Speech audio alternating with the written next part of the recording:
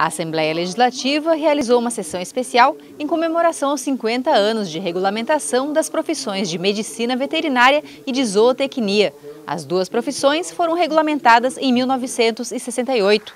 Atualmente, só no estado de Santa Catarina, existem mais de 6.300 profissionais atuando como médicos veterinários e cerca de 200 como zootecnistas. Apesar das duas profissões envolverem o trato e o cuidado com animais, elas são diferentes entre si.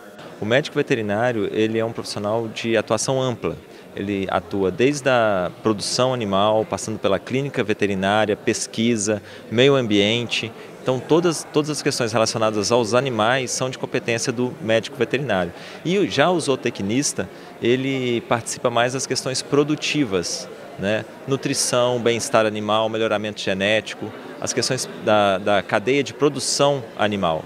Durante a sessão especial, entidades e profissionais que contribuíram para o desenvolvimento das duas profissões foram homenageados. As falas destacaram a importância do trabalho desenvolvido por médicos veterinários e zootecnistas. A classe médico-veterinária vem prestando um grande serviço durante ao longo desses 50 anos, especialmente no que diz respeito a ser um estado livre de febre aftosa sem vacinação, o que confere ao Estado e ao Brasil, então, um estado sanitário de alto nível, haja vista que os colegas médicos veterinários vêm se empenhando ao máximo não só para conquistar, mas inclusive na manutenção. A sessão foi presidida pelo deputado Maurício Skudlark, que reforçou a importância das duas profissões.